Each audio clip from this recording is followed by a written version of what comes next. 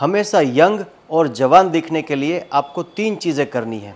कुछ लोग आप देखते होंगे कि 40-50 साल की उम्र में भी आपको यंग और एनर्जेटिक दिखेंगे।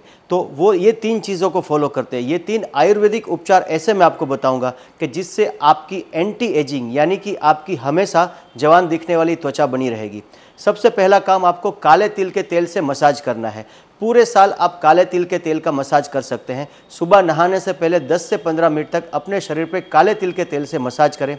रोज रात को सोने से पहले नस्य करें। गाय के घी का नस्य आयुर्वेद में बताया गया है, सबसे श्रेष्ठ है आपके नींद के लिए, आपकी त्वचा के लिए, आपकी आँखों के लिए और आपके पूरी बॉडी के लिए। नस्य का सेवन हमेशा करें दो दो बूंदे गाय के घी का नस्य करें और तीसरा, आंवले के चूर्ण का सुबह खाली पेट सेवन करें। एक चम्मच आंवले के चूर्ण का सुबह खाली पेट सेवन करें। ये तीन चीज़ों को लगातार करें और हमेशा यंग, जवान, एनर्जेटिक रहें।